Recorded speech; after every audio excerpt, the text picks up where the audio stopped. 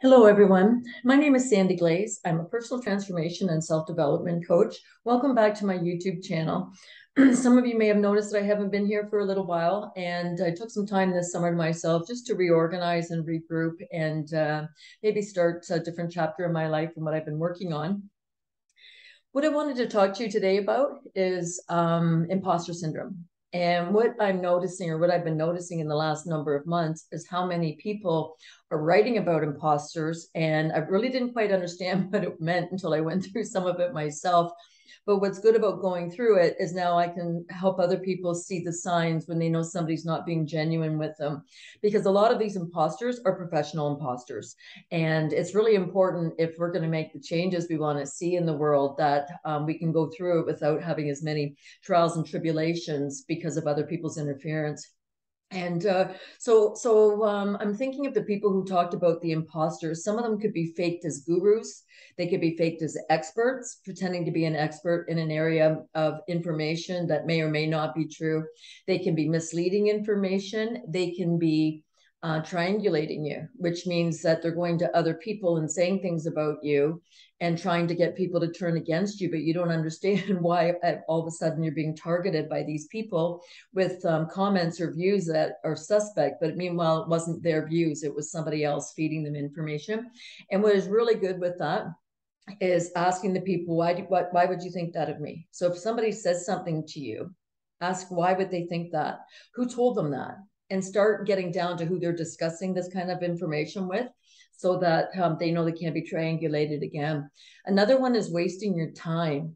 They will call you and talk about things that just maybe matter, maybe they don't matter, maybe it's true and maybe it's not true. They can be telling you stories to elicit sympathy, to help siphon your energy and drain your energy and strengthen them. So uh, t- take stock if somebody's trying to talk to you about something. Is this really something that you need to talk to them about, or is it something that maybe they need to get professional help with? Divide and conquer um, they like to infiltrate groups. So they'll try to get to know who your friends are or who you're maybe who you hang out with and they try to infiltrate those groups of people so they can learn things about you. So if you ever challenge them they can turn around and tell you personal things about yourself and it makes you paranoid right? Like it's um these people really have uh, no personality. They're very just very shallow people. Um shaming you at your very core um, when when it's okay to feel shame about things you do, but not about who you are. But if they shame you at the very core of who you are, or what you believe, or what your values are, chances are that they're here to try to cause you pain and suffering because they're not who they say they are. And it wouldn't be, um, it could be very passive aggressive. So it can even be a friend who you think is saying this to you, but they're really not a friend because they shouldn't be trying to shame you. Another one they do is they try to control the narrative. And what that looks like is let me finish, let me finish, let me finish. No, no, I got to talk, I got to talk.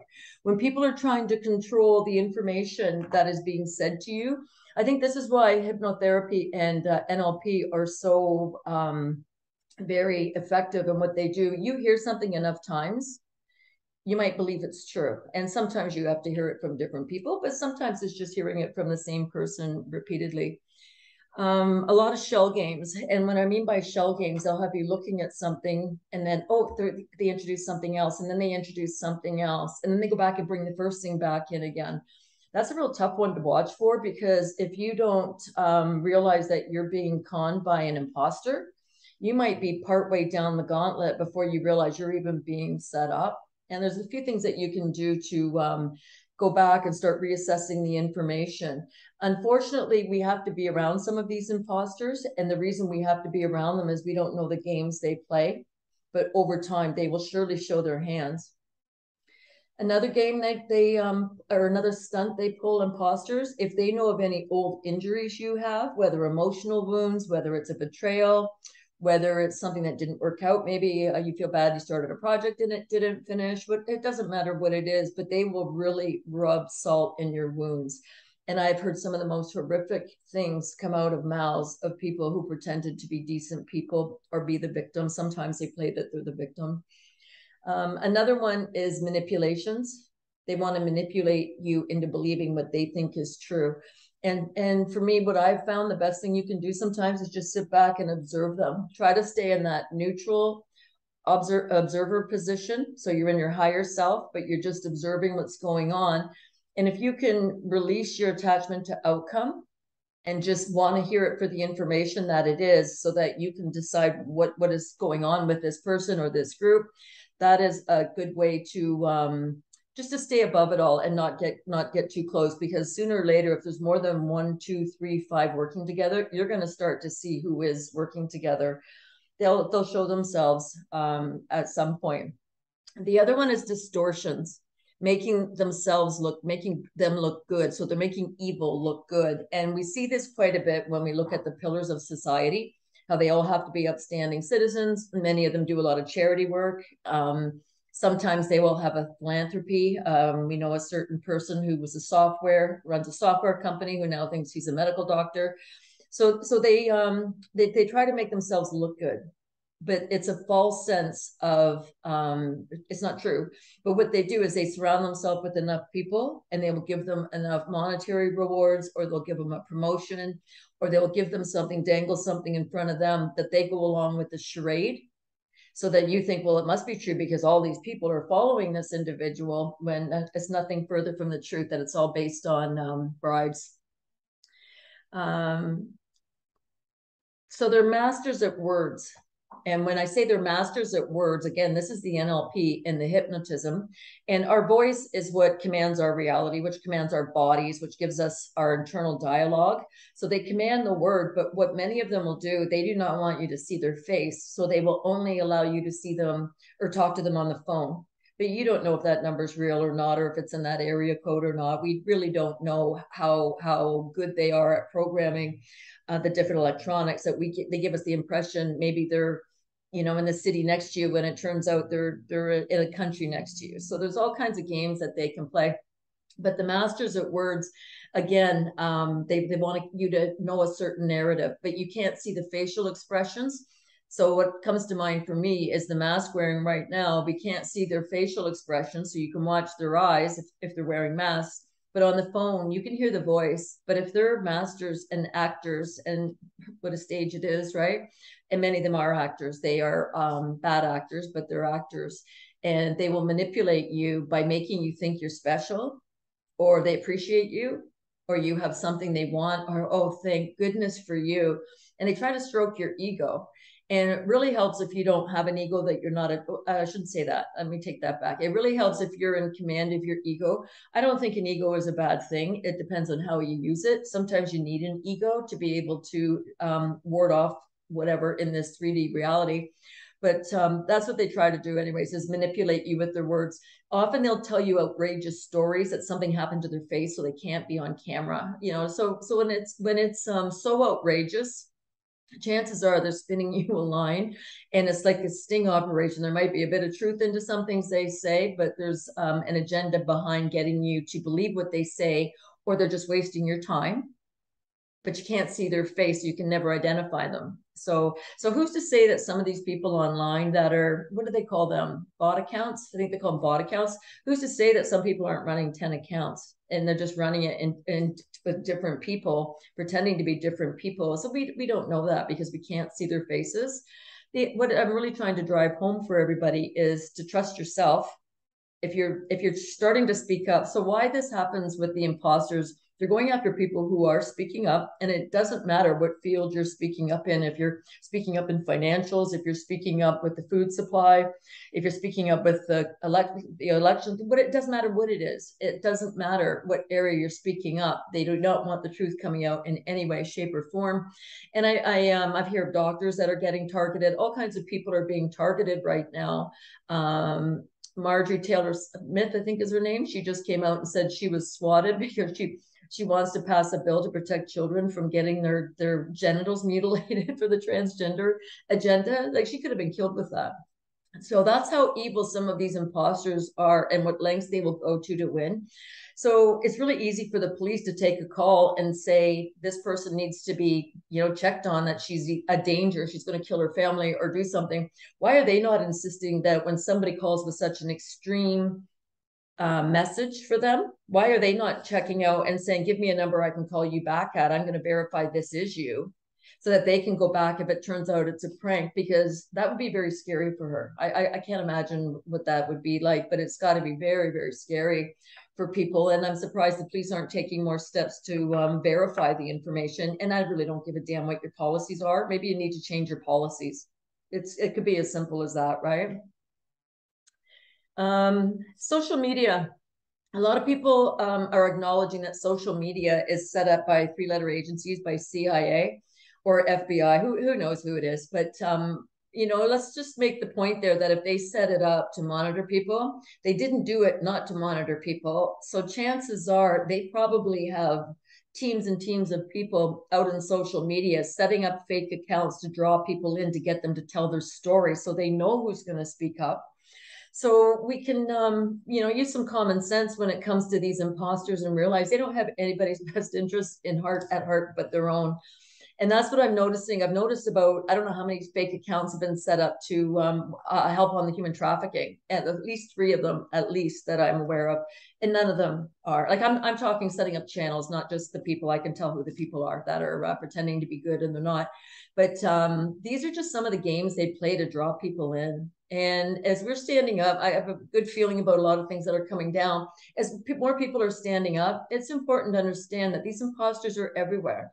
You might you might find one in your grocery store that is is been in your neighborhood, and um, they're told something bad about you.